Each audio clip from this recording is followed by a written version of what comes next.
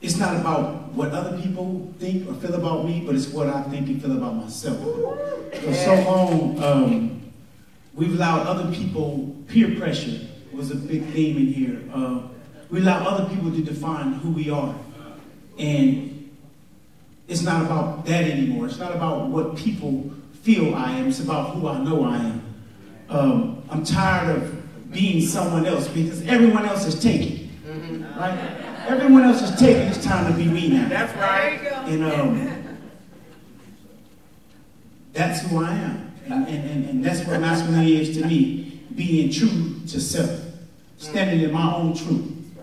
Loving, caring, empathy, respect. All those things um, is what a man is to me. Love. All right.